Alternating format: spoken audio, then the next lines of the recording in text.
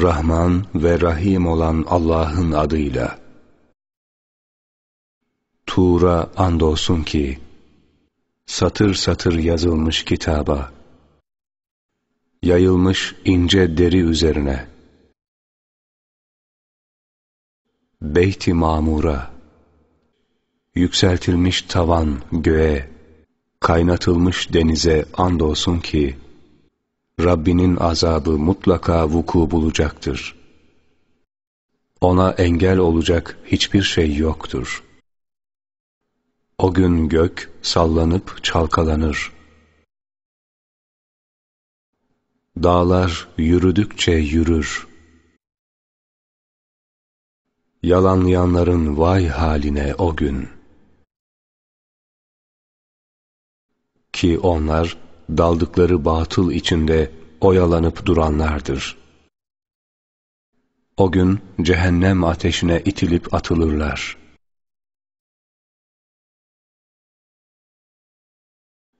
İşte yalanlayıp durduğunuz ateş budur denilir.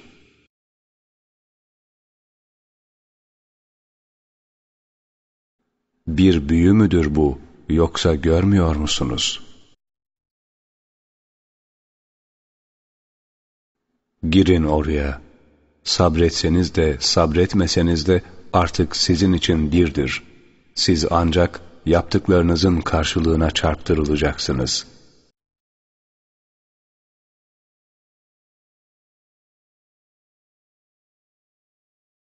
Şüphesiz korunanlar cennetlerde ve nimet içindedirler.''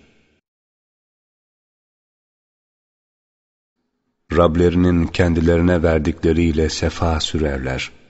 Zira Rableri onları cehennem azabından korumuştur.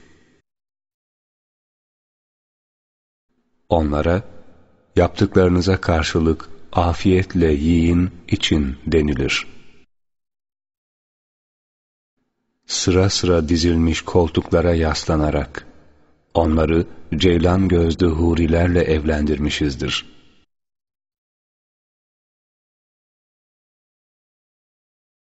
İman eden ve soylarından gelenlerde imanda kendilerine tabi olanlar var ya, işte biz onların nesillerini de kendilerine kattık.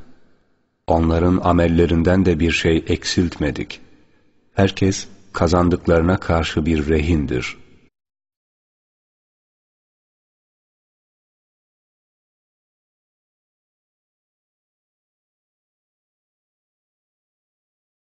Onlara, canlarının istediği meyve ve etten bol bol verdik.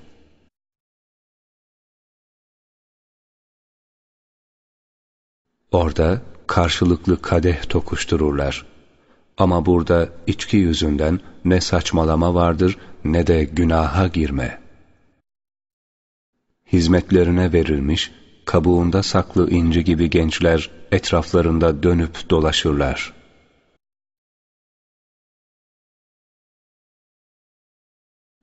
Cennettekiler birbirlerine dönüp sorarlar.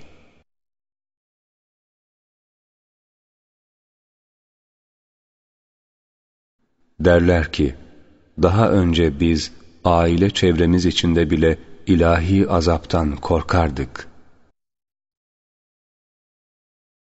Allah bize lütfetti de bizi vücudun içine işleyen azaptan korudu.'' Gerçekten biz bundan önce ona yalvarıyorduk. Çünkü iyilik eden, esirgiyen ancak O'dur.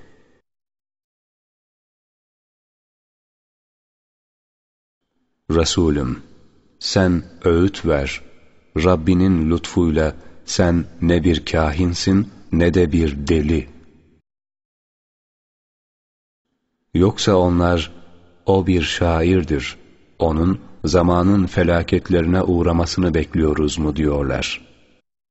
Bekleyin, ben de sizinle beraber bekleyenlerdenim.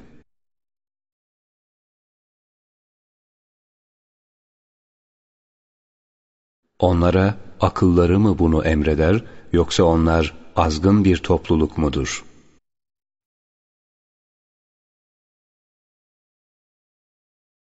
Yahut onu kendisi uydurdu mu diyorlar.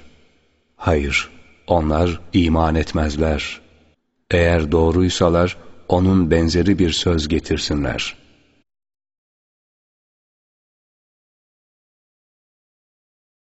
Acaba onlar herhangi bir yaratıcı olmadan mı yaratıldılar? Yoksa kendileri mi yaratıcıdırlar? Yoksa gökleri ve yeri onlar mı yarattılar? Hayır, onlar bir türlü anlayıp inanmazlar.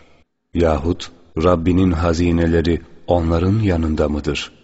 Ya da her şeye hakim olan kendileri midir? Yoksa onların üzerine çıkıp gizli sırları dinledikleri bir merdivenleri mi var? Öyleyse dinleyenleri açık bir delil getirsinler.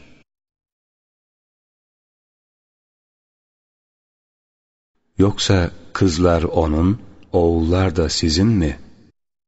Yoksa sen kendilerinden bir ücret istiyorsun da bu yüzden onlar ağır bir borç altında eziliyorlar mı?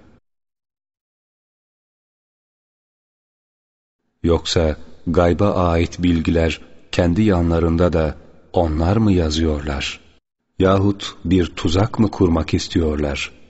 Asıl tuzağa düşecek olanlar inkar edenlerdir. Veya onların Allah'tan başka bir tanrısı mı var? Allah onların ortak koştukları şeylerden uzaktır. Gökten düşen bir kütle görseler, üst üste yığılmış bulutlardır derler.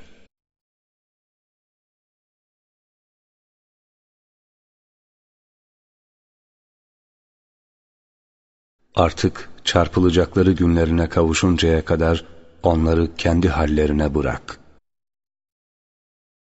O gün planları kendilerine hiçbir fayda vermez ve yardım da görmezler. Şüphesiz zulmedenlere ondan başka da azap vardır. Fakat çokları bilmezler.